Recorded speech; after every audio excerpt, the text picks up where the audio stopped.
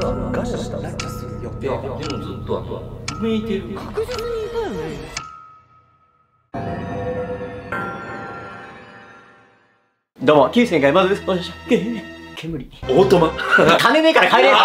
というわけでですね、今回まずラビーの都市伝説シリーズでございます。というわけでですね、都市伝説の世界的権威、ミスター関を呼んでおります。うわお願いします。ナイス。いやーミスター関東ドイツの車だ。歴史を感じるなそれは。お 前今回の都市伝説はシカゴ大学によって考えられたわざと空に汚染物質をばらまき地球を強制冷却するという計画。これは陰謀論でよく言われるあの計画に酷似しているのね。というわけでですね今回その地球強制冷却計画について触れていきたいと思います毎年のように観測史上最高気温が塗り替えられ、気候変動による異常気象や災害がますます激化するにつれ、昨今、人為的に地球環境を操作することに注目がされている。この間石降ってた神のなせる技 そして2024年8月、わざと空に汚染物質を撒いて地球を強制冷却するという恐るべき計画が立てられたのよ。それこの間のベテセウス座流星群じゃないのあ、あれですかお願いしたうん、美味しいです。先生間違えてねごめんなさいごめんなさいごめんなさい3回言っちゃった縄文人か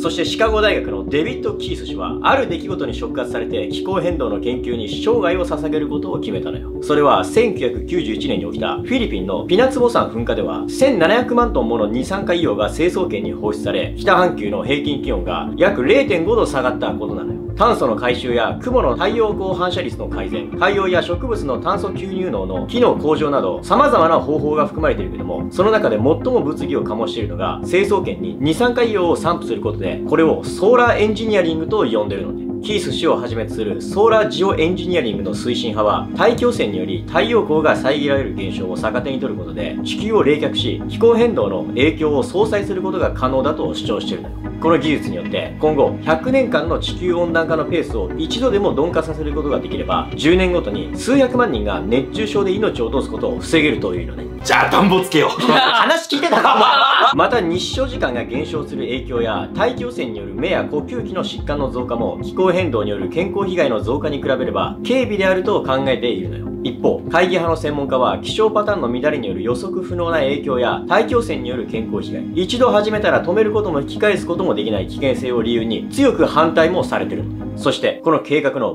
最も大きな懸念の一つが、ソーラージオエンジニアリングをすれば、化石燃料の使用を削減する必要はないというモラルハザードということが起こること。ソーラージオエンジニアリングを開始してから中止すると、終末的ショックと呼ばれる気温の急激な上昇が発生する恐れがあると指摘されているのね。もうその地域一帯の気温を下げるっていうのは、うん東京はやってるんだよねあ、そうそう。先日の虚構新聞による報道によると東京をドーム化して冷房を効かせるっていうのがもう出てるから。あれ？信じてる？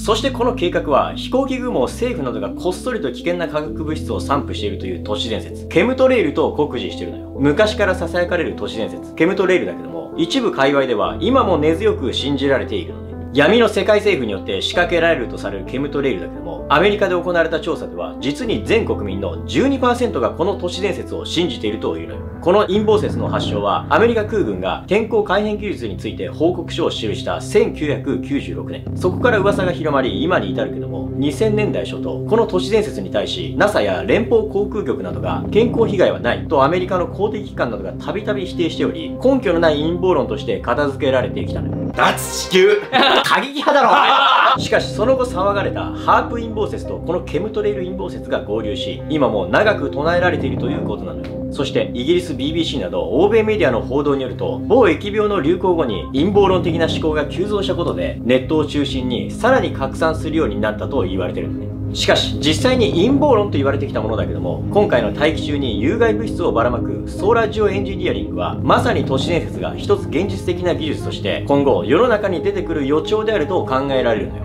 この計画が実行されればケムトレイルは真実であったとアメリカでは大盛り上がりになることは間違いないかもしれないのね。とりあえず傘買うわ。意味ねえんだよお前